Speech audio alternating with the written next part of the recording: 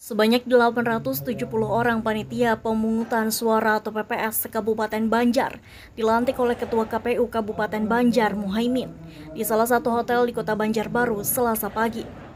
Pelantikan sendiri disaksikan Bupati Banjar Saidi Mansur, Ketua DPRD Banjar Muhammad Rofiki, serta Ketua KPU Kalsel Edi Aryansyah. Dikatakan Komisioner KPU Banjar Abdul Mutalib, antusiasme pendaftar untuk menjadi PPS cukup tinggi, di mana yang mendaftar mencapai 3.000 orang dan yang melengkapi berkas sebanyak 2.800. Pertama, kita kemarin kan membuka dari awal pendaftaran uh, PPS. Kemarin yang mendaftar itu hampir 3 ribuan.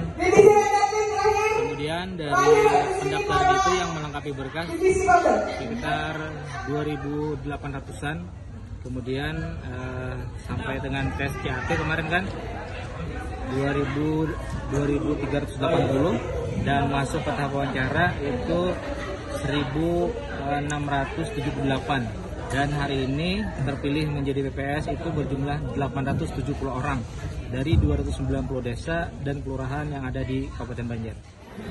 Jadi seperti yang disampaikan Ketua KPU kemudian Pak Bupati juga tadi bahwa pemilu ini kan harus dijaga nih supaya asas demokrasi dan jurdil luber itu terjaga salah satunya tugasnya adalah kawan-kawan PPS di tiap desa dan kelurahan masalah tugasnya.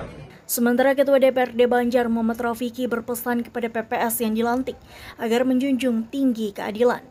Saya lihat tadi juga yang dilantik ini banyak anak-anak muda. Mudah-mudahan nanti kata jurdil itu benar-benar hadir di tengah pelaksanaan pemilu. Untuk masa kerja sendiri, PPS bertugas hingga April 2024 dengan tugas menyelenggarakan pemilu di tingkat kelurahan atau desa, termasuk nantinya mengangkat kelompok penyelenggara pemungutan suara atau KPPS untuk melaksanakan pemungutan suara di tempat pemungutan suara atau TPS. Banua TV Kabupaten Banjar melaporkan.